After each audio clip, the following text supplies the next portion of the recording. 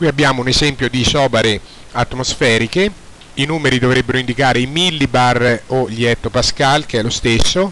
Sappiamo che la pressione atmosferica media vale un'atmosfera, che sono 1,013 bar, e se esprimiamo in millibar viene 1013, quindi un'atmosfera è 1013 millibar. Allora qua sulla carta vediamo che ci sono zone dove la pressione eh, atmosferica quel giorno è superiore ai 1013 millibar, eh, sono le zone contrassegnate da A alta pressione, 1020, 1024, 1028 millibar su tutta questa linea. Lo stesso c'è alta pressione qua, 1024 millibar. Le zone di bassa pressione invece eh, si trovano dove la pressione atmosferica quel giorno è inferiore al valore medio annuale, per esempio 976-980 millibar.